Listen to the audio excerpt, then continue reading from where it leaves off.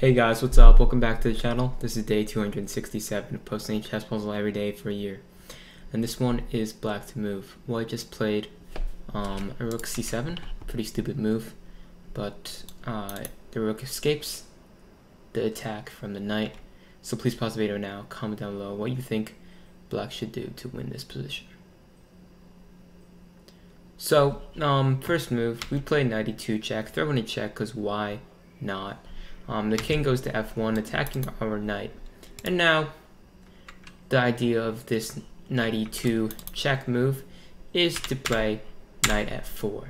Because in the beginning, we noticed that the king is attacking the rook on c7. And knight on d5 is the only piece that's defending the rook. So if we attack the knight on d5, we will be able to either win the knight or win the rook. So how do we do it? Well, we're obviously going to do it with our knight. Um, we could try something else like bishop takes h2 check, king takes, and rook e5.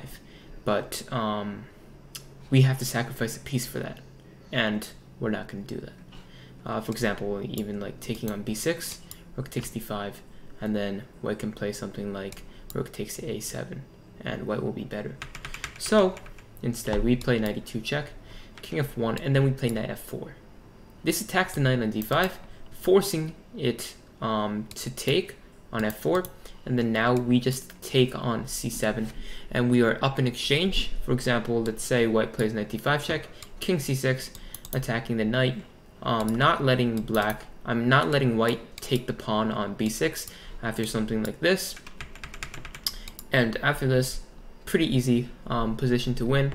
For example 93 we take on a5 and uh, yeah, we're up in exchange, we're up two pawns, and all we have to do is trade off these, uh, trade off the rooks since rooks are generally better than minor pieces in the endgame.